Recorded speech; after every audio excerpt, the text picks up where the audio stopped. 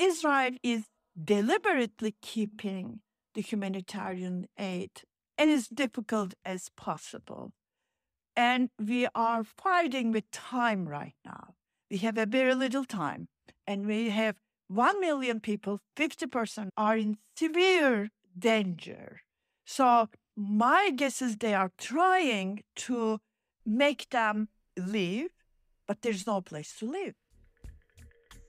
Earlier this week, the European Union accused Israel of using starvation as a weapon of war in Gaza. This famine is not a natural disaster, it's entirely man made. Israel is provoking famine. This is unacceptable. Starvation is used as a weapon of war. Yes, starvation is used as a weapon of war. That was the European Union Foreign Policy Chief Josep Borrell talking on Monday. Israel denies these allegations, which are some of the strongest words we have heard about the situation in Gaza from a Western power since October.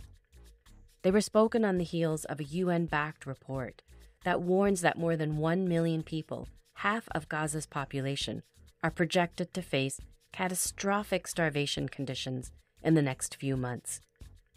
In other words, famine is looming.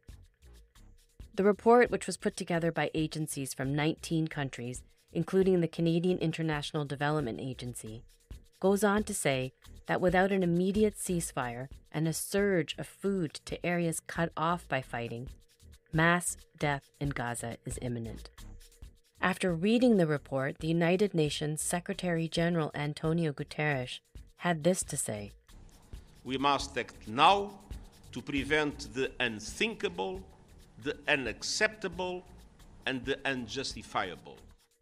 Scholars of famine say that this is, in fact, the worst food deprivation they have observed in war since the Second World War. And under international law, intentional starvation of a population is considered a war crime. That's a lot to take in, I know. But we're going to try and break it all down for you today with someone who really knows the issue well. Hilal Elver is the former United Nations Special Rapporteur on the Right to Food, a position she held for six years from 2014 to 2020. She's also a research professor of global studies at the University of California, Santa Barbara, and a Global Distinguished Fellow at the Resnick Food, Law, and Policy Center at UCLA Law School. Hilal currently serves on the Committee of Experts at the World Committee of Food Security and Nutrition. Welcome, Hilal. Thank you. As a former UN Special Rapporteur on the right to food, how would you describe what you are seeing in Gaza? I mean, it's very difficult to describe because whole world is talking about imminent, horri- horrifying humanitarian uh, humanities catastrophe, especially Secretary General.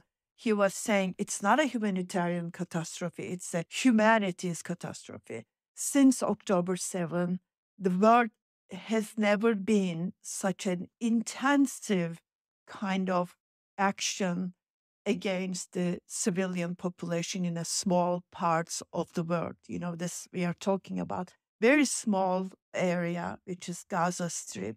And since 2007, this area was under siege anyway. And more than eh, 50% of 60, 70% of the Gazans were under humanitarian aid since 2007. And thinking about it recently, this become even more horrific than we can even imagine. Gradually, maybe the Western countries are trying to understand the severity of the situation. But when it started in October 7, of course, nothing had started in October 7. That's also the important things. It's not a vacuum. Yes, it was a terrible attack by, by the Hamas. But uh, the mm, collective punishment is unheard because 100% of Gazans, women, children, young, old, Hamas, non Hamas, everyone is under the same situation and there is no way to escape. These people are going from north to south, south to north again, and the Gaza divided to two pieces, north and south. It was already extremely crowded area. That mm, the human catastrophe, it's not only uh, starvation, not only famine, but the health impacts and people's lose everything and their home and their small tiny gardens. It was a terrible case before, and now it's beyond our imagination. You mentioned that I think it's the UN Secretary General said this is not a humanitarian crisis, but it's a humanities crisis. Can you explain that just a little bit? Well, Secretary General from the day first was trying to do the ceasefire, and actually he went to Egyptian gate, and in order to get into Gaza, the Israeli government didn't allow him to come into the Gaza. This is unheard. We know Israel was not very cooperative with human rights councils. No special rapporteur on occupied territories was able to enter to uh, Gaza or uh, West Bank. But Secretary General, I mean, that was a kind of hard to believe rejection of the international order by Israel. And also, mm, what Secretary General is trying to say the world somehow divided to two camps. And the Western countries, basically European United States and the Commonwealth countries, are actually blindly supporting Israel's self defense, which is not a self defense. This is beyond the self defense. And the global South is completely unified and try to stop what's happening in Palestine. This is a new kind of world order that we are seeing. That's why I think the humanities crisis, he tries to say this why we don't use our humanity, but what we think about our geopolitical interests. I can understand Israel's founding was also important after the humanitarian catastrophe. Now we are completely seeing historical problem repeating again this time, but victims and perpetrators become completely different. That's that's a very interesting and also very sad story, I think. Let's talk about this report on Monday. What's important about this new report, do you think? So in December, the earlier report by IPC, they made exactly the same language. They said, listen, you should stop the war or you should allow a kind of humanitarian aid in order to protect people going to severe hunger. According to this report, the report just, just came yesterday, and IPC became again some kind of important uh, news event. From December to yesterday, March 18, the situation become more and more serious in a very short period of time. Now, either emergency or catastrophe. And catastrophe is 50%.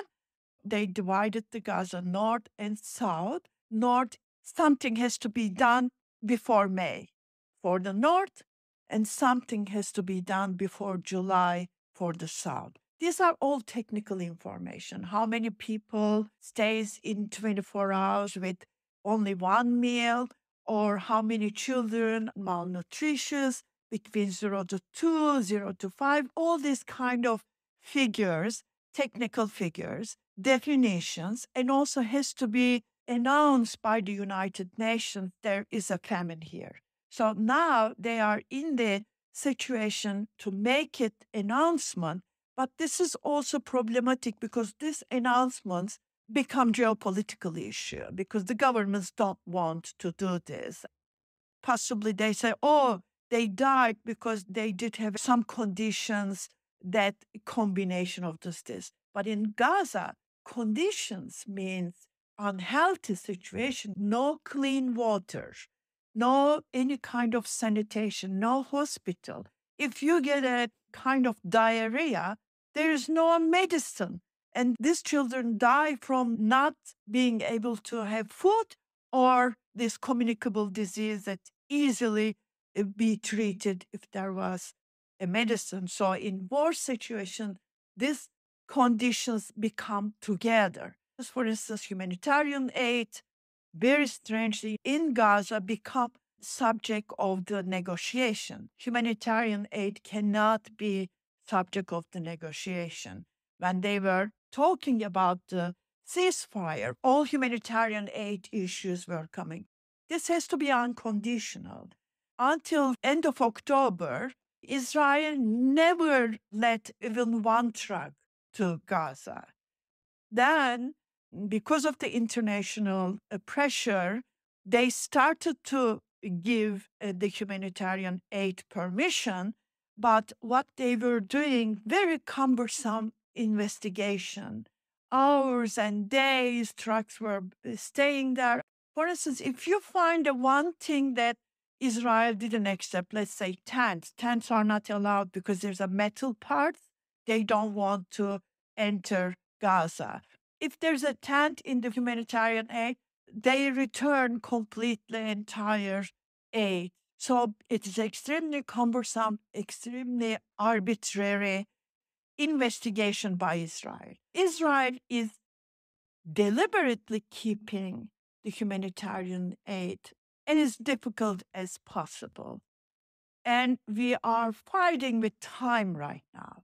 We have a very little time, and we have 1 million people, 50% are in severe danger. So, my guess is they are trying to make them leave, but there's no place to live. And if they live, they will not be come back again. Everyone knows about it.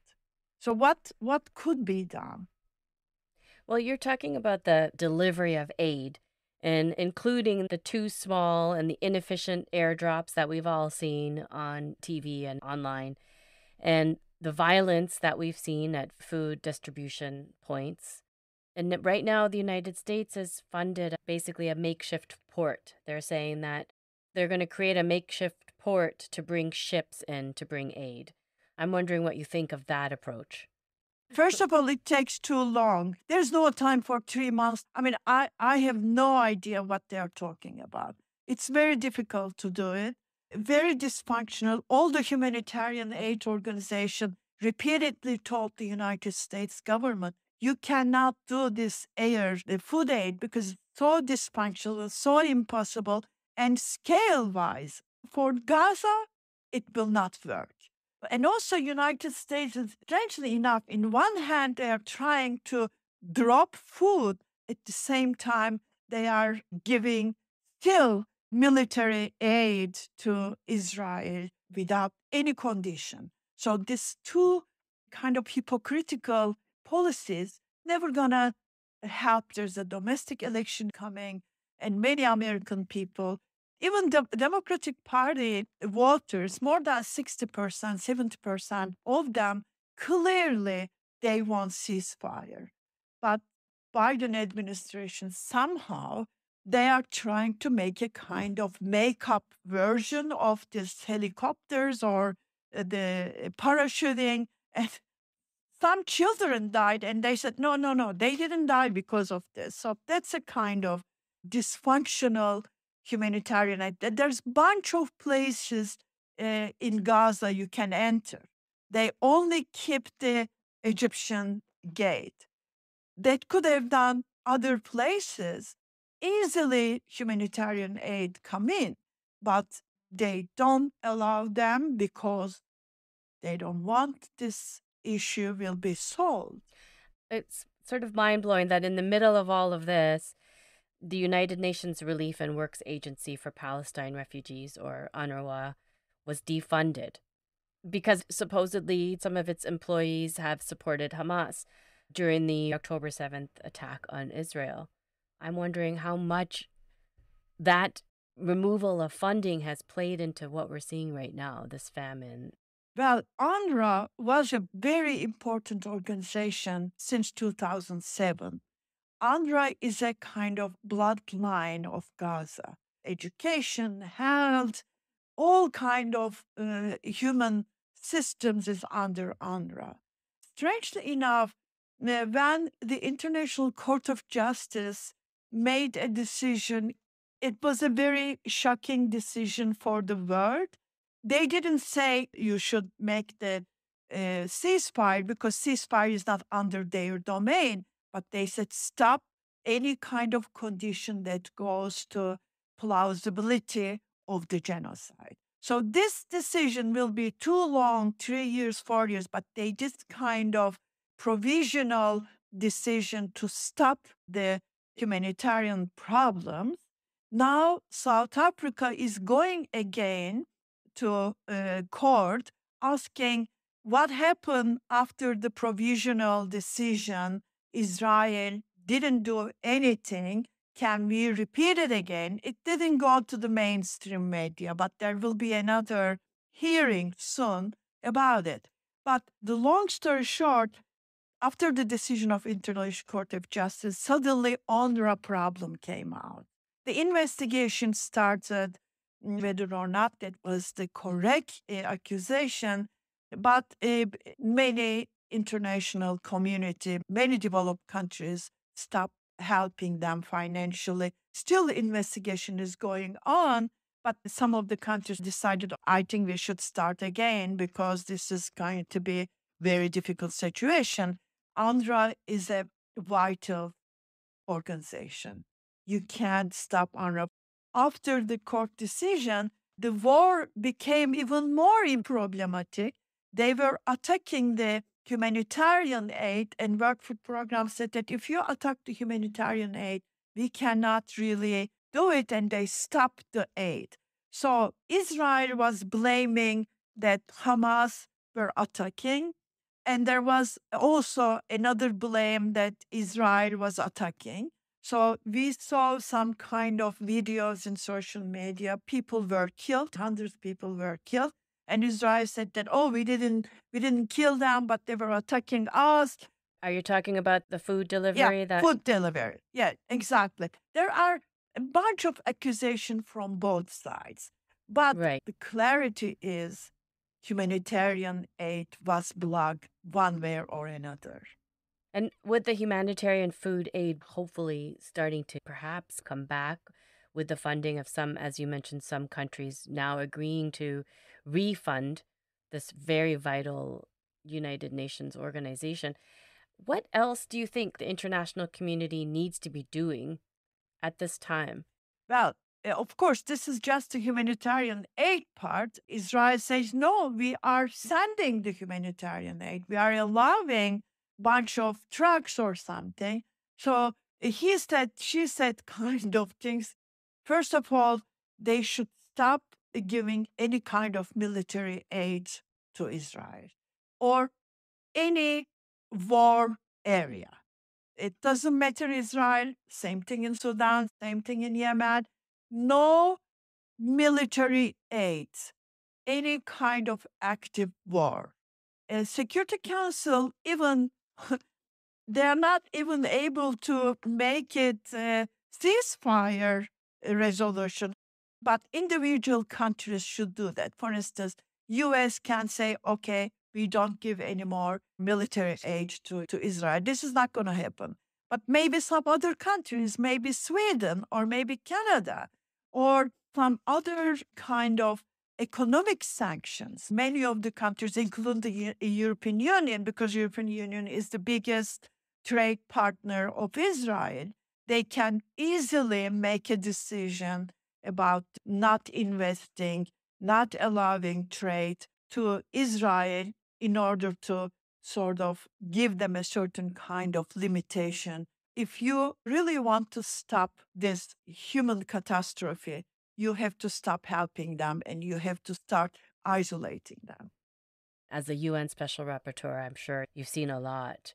I'm wondering if you can explain how this is different in Gaza from some of those other areas. Sudan, you mentioned, Yemen. Now it's the Yemen and South Sudan is very active, and they are also under the uh, conflict areas. South Sudan also combination of the climate change. Afghanistan also same. They are having a serious kind of catastrophic drought but they are also post conflict countries. That countries, they have combination of the conflict and other reasons. In Gaza, full problem of the conflict, first of all. There is no other impact that makes the famine more problematic. Secondly, it goes completely entire population and in the entire region. In Sudan and Yemen, part of the countries the fight is happening and also kind of problematic part blocking the humanitarian aid not to the entire country but only parts. So that's why in speed and then comprehensiveness are very different in gaza and no one is excluded. You said that in gaza children go up very fast and you've called this a war against children. Can you tell us more about that? Yes, the issue is very, very sad actually, because Gaza is very high population, young generation. 50% of uh, the population are under 18. You see always children, we see them in our TV every day. It's not something hiding. And also, even Israel, does not really hide. We are living in the social media world. We can see everything. And you see, children are right now in charge of getting water, in charge of going to humanitarian trucks and getting a little bit of food. That's why they're not anymore children. And also, malnutrition case is more than a problematic of famine. Let's say we have 50% famine under serious uh, danger, but other 50% is almost all of them are going to have a serious kind of health problem in the future. Not only health problem, but also brain damage, because between zero to two years old, even the short period of time of malnutrition, which is three months, then you lose the kind of brain power, not only immune system problems. So we see the future generation of Gazas are in serious trouble. Even we stop the war right now, we're gonna lose this generation. There's no no way to correct or recover this generation. So you know this amputation is incredible. I mean, never heard in any any conflict that too many children amputated without even anesthetic. This is this is very hard. The children are born and the second day they died because the mother didn't have enough milk to give the child. So in this yesterday's report, FAO become adamant about livestock. And I was surprised why they're worried about livestock. The livestock is the food for the children, the milk. 70% of the livestock was killed right now. And also now they are trying to put the animal feed to Gaza to get the milk for the children. Well, it's incredible. Now people are eating animal feed in Gaza.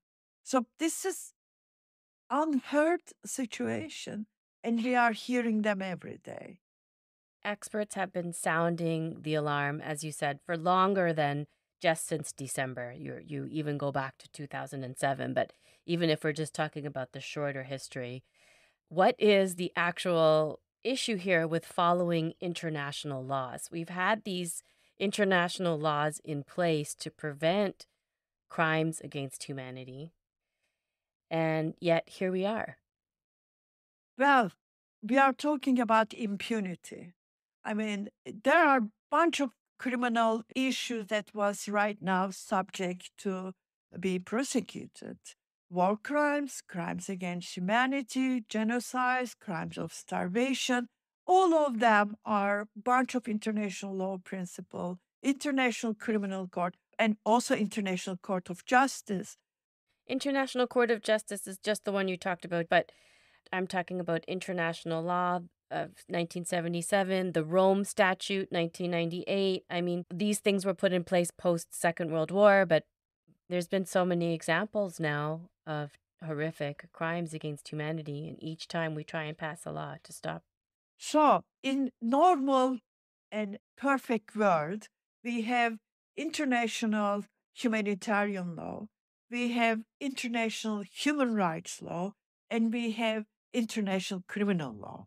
They all have their own specific mandate and specific jurisdiction.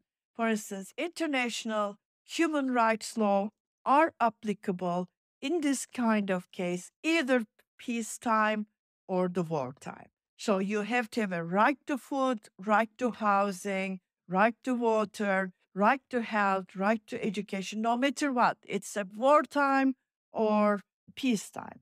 International humanitarian law is basically protecting civilians in times of war. International humanitarian law constantly was violated. International criminal law is when the violations occur, they are the court, they are the prosecution, they are bringing justice to that kind of serious humanitarian violation. But International Court of Justice is not a criminal court. It's a regular court. At the end of whatever the decision will be done, it will not be a criminal decision. They are investigation whether or not a crime of genocide occurred or not. This is not the only happened in Gaza. Uh, two, three years ago, there was a case, Gambia brought the case against Myanmar exactly about the genocide and court exactly made the decision provisionally. They said, yes, it would be plausible. Palestine Israel case is not new for the International Court of Justice. And same thing. Court is trying to do their best. But at the end, who will be implementing international uh, system based on consensus? If there's no consensus, international law cannot be implemented. Mm. Or if there is no unity in the Security Council to block the war, which they are the most powerful among the international organizations or international system, but the veto power of the five big countries, which is the winners of the world war, they can block. For instance, in Ukraine case also blocked by Russia, and this Palestine case blocked by the United States. So there's always good friends in the Security Council to escape. So there's a strong impunity. In relation to starvation, even more severe impunity, because starvation as a war machine, killing machine, has been used historically in many, many conflicts. Palestine is not the only one, it will not be the only one. But unfortunately, it's ne- no country or no armed forces was punished by any international court, including domestic court. So that's a kind of thing. Either the causality is very difficult, or because of the geopolitical reasons, the court cases doesn't go through, or prosecutor just throw away, or sometimes even there's a genocide, the starvation comes Second, they don't really care about the starvation, they go to the genocide. And the starvation case is so long term impact of the future generation. This Gaza case, because it's too severe, too open, too in front of our eyes, will make a little bit of difference in relation to uh, getting rid of impunity. The only hope that was my last question is that it is very hard. It's very, very difficult to see any way through this. As you said, even if you stop it right now, it's like the impacts are ongoing generationally for the future children, especially, but for everyone. What keeps you motivated here? What gives you that glimmer of hope? Well, the glimmer of hope, things are uh, slightly changing. There is something going on, but it has to be faster. First of all, they have to stop fighting. Stop fighting, stop killing. If this would happen very soon, then will be recovery possibility. And also Israel will be recovered too, because they become kind of persona, the country non grata, which should not be that way. Of course, mm-hmm. internally, the Israeli citizens are important. If they support ceasefire, maybe Israeli government will change. There will be maybe revolution. The young generation will not be part of that kind of atrocities. So that's the hope for the young generation. Same thing for Palestinians. Young generation maybe will be much better ideologically and future wise, democratically. It will have a better place in Gaza. So future is for the young generation's hands. That's what I'm hoping. Hilal Elver, thank you so much for your time and the work that you do. I really appreciate it. Thank you. Thank you for having me. Well, that's it for this episode of Don't Call Me Resilient. Thank you for listening. Be sure to follow us so that you don't miss next week's episode. We'll be revisiting the issue of famine and forced starvation, this time from a historical perspective as a tool of colonialism in two very different locations Canada and India. Our guests are two excellent and fascinating Canadian scholars. In the meantime, reach out to us and tell us what you thought of this episode, or share ideas for stories or guests. We'd love to hear from you, our listeners. You can reach the team at dcmr at theconversation.com. Follow us on Apple and Instagram at Don't Call Me Resilient Podcast. Don't Call Me Resilient is a production of The Conversation Canada. The series is produced and hosted by me, Vinita Srivastava. This episode is co produced by associate producer Atika Kaki and our student, journalist, assistant producer Hussein Haveliwala. Krish Dinesh Kumar does our sound design and mixing. Our consulting producer is Jennifer Moroz. Lisa Varano is the managing editor of The Conversation Canada, and Scott White is the CEO. Zaki Ibrahim wrote and performed the music we use on the podcast. The track is Something in the Water.